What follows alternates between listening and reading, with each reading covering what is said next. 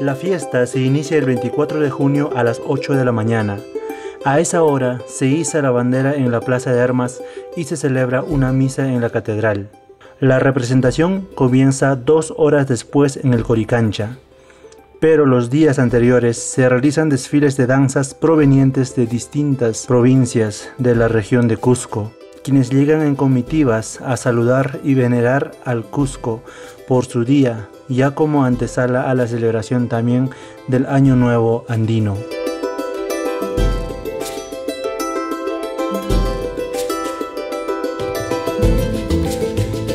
La primera puesta en escena de la representación del Inti Raymi en el Cusco se desarrolló el 24 de junio de 1944 en la explanada de Sacsayhuamán, oportunidad en la que participó el presidente de la República de entonces, Manuel Prado Ugarteche.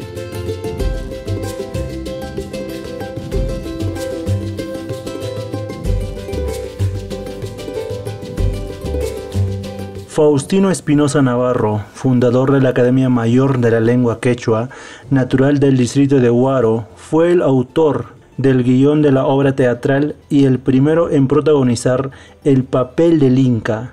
Redacté el guion teatral para una participación de 600 actores. Tuve el privilegio de ser el primer Inca, papel que representé con mucho orgullo durante 14 años consecutivos, manifestó en vida.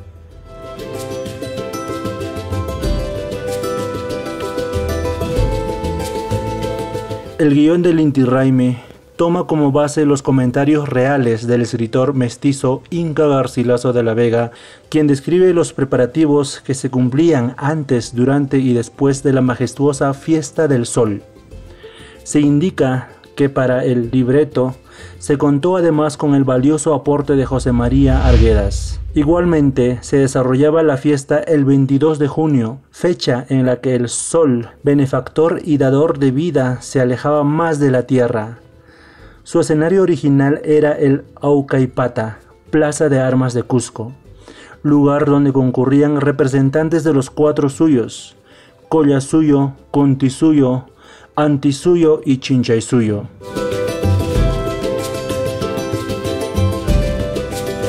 La fiesta del Inti Raymi, según algunos estudiosos, se habría realizado hasta 1532 o 1535, cuando llegaron los españoles a territorio peruano y empezaron con la evangelización y la extirpación de las idolatrías, motivo por el que se realizaba de manera escondida en los pueblos del Ande. Fue en 1572 cuando el virrey Francisco de Toledo prohibió oficialmente su práctica por considerarla una ceremonia pagana y contraria a la fe católica.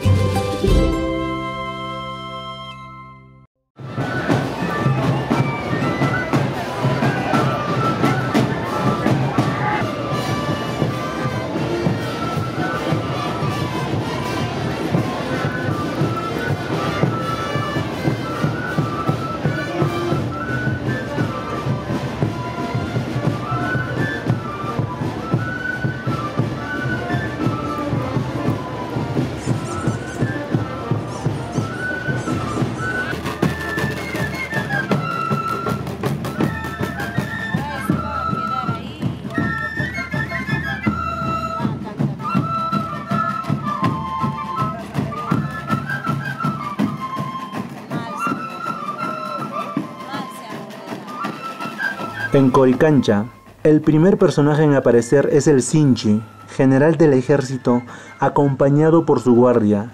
Le sigue el ejército imperial y luego las Aclias, mujeres escogidas. Las Tika Takakuna, mujeres que arrojan flores al paso del Inca. Y los Pichascunas, que limpian el lugar. Todo esto se hace con música de pututos, quepas, especie de trompetas hechas de caña hueca, y tintas, tamborcillos. El Inca y su esposa, la Coya, son los últimos en aparecer después del séquito real y la nobleza. Acompañado por el sumo sacerdote, Willaj Humo, el Inca ofrenda al sol chicha de Jora.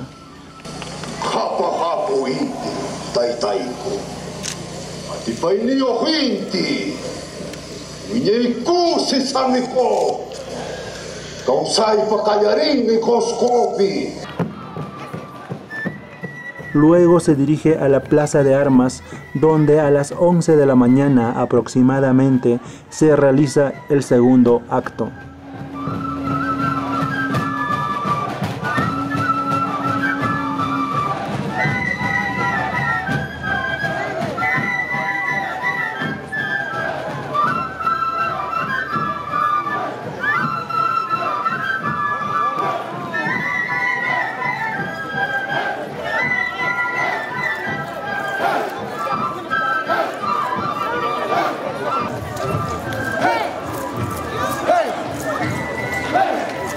La Organización para la Escenificación del Inti Raymi desde hace 25 años, vale decir, la dirección de la puesta en escena, elección de los personajes, vestuario, música, guiones y otros, la desarrolla la empresa municipal de festejos del Cusco, EMUFEC.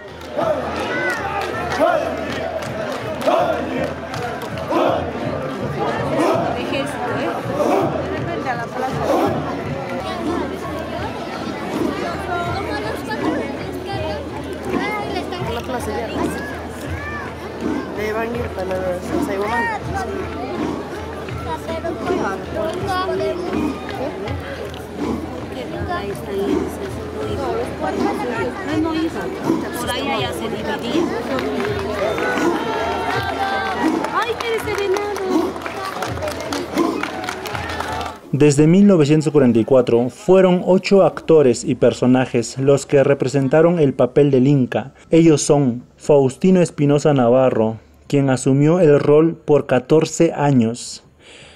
Alfredo Inca Roca, perteneciente a las Panacas Reales Incas. Guido Guevara, Ricardo Castro Pinto, Luis Huayhuaca Villasante, Francisco León, el poblador anteño, Eduardo Cosco, el chumbivilcano Nibardo Carrillo y ahora último el profesor David Anca.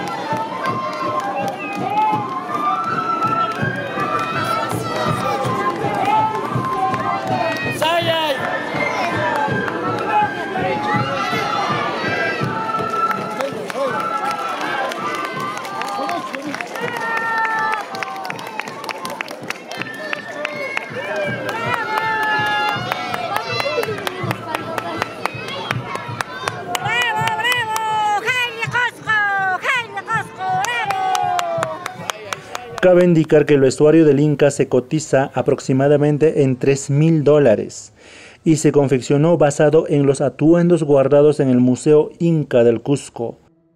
El 8 de enero de 1944 es la fecha en la que se dispuso que la celebración del Día del Cusco y del Inti Raymi sea cada 24 de junio.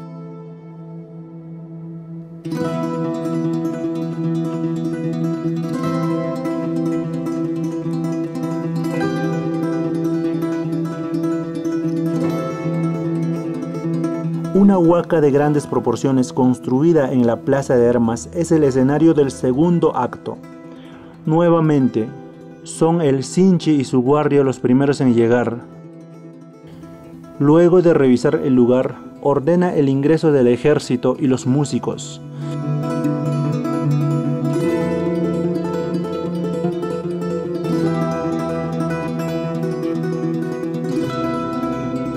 Cada año participan alrededor de 800 personas en el elenco, la mayoría estudiantes de cinco universidades, San Antonio Abad del Cusco, Universidad Particular Andina, Universidad Tecnológica de los Andes, entre otros. Según la ley número 27431, publicada el 2 de marzo del 2001, la escenificación del Inti Raymi cada 24 de junio en Cusco es reconocida como Patrimonio Cultural de la Nación y se encarga a la Municipalidad Provincial del Cusco como titular de los derechos de autor de la versión contemporánea, por lo que queda encargada de resguardar su autenticidad y de autorizar la escenificación en cualquier lugar.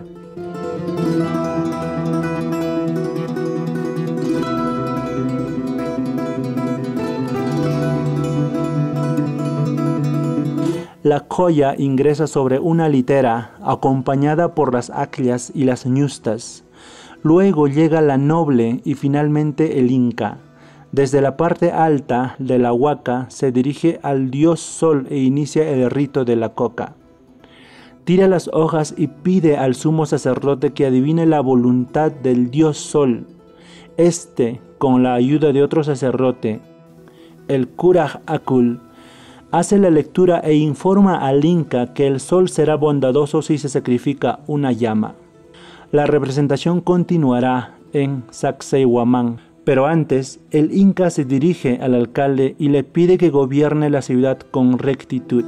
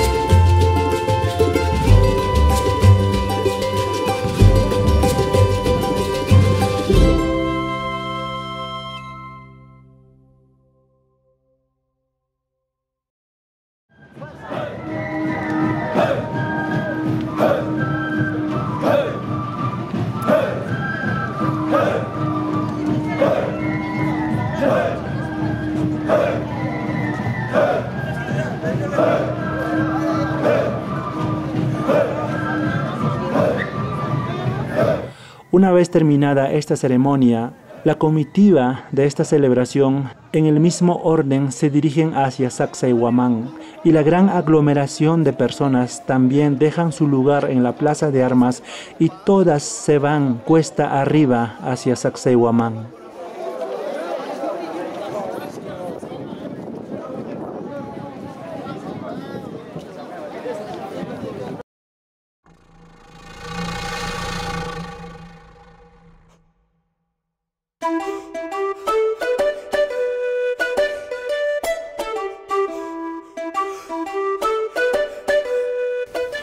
En.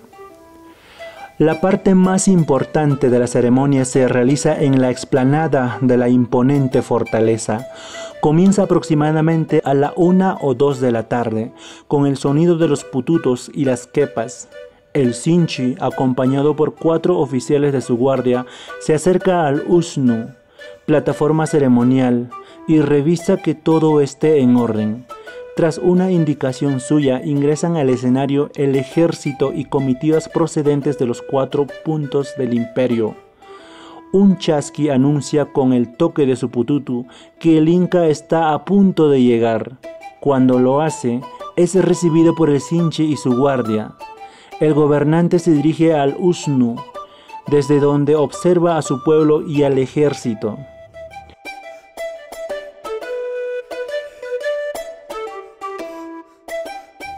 Luego escucha los informes de los jefes de cada suyo y el Willag Humo da inicio al rito de la chicha de Jora. El Inca brinda hacia el sol, luego vierte otro vaso en una canaleta que conduce la bebida al templo del sol. Finalmente repite el brindis.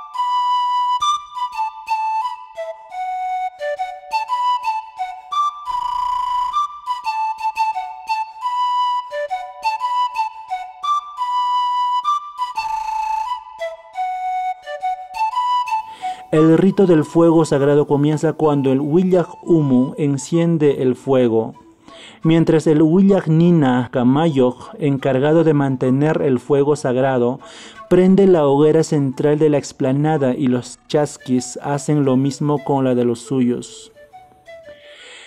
Es el turno del sacrificio de la llama. El Tarpuntay sacerdote encargado del oráculo, pide que suban una llama tierna y negra al usno. Antes del sacrificio, el sumo sacerdote se dirige al sol. Con un tumi, cuchillo de sacrificios, se abre el costado izquierdo del animal para arrancarle las vísceras. Luego las ofrenda al sol y pide que haga lo mismo el Kalparico, quien lee la fuerza del animal sacrificado el Wira Piriku, que predice con la grasa del animal, y el Yawar Piriku, que adivina el porvenir con la sangre del mismo. Tras la evidente satisfacción, el Wira Piriku echa las vísceras a la hoguera central. Al ver el humo, el Willa Humo se satisface por los buenos augurios. El Inca se muestra satisfecho y la fiesta termina con una manifestación de algarabía.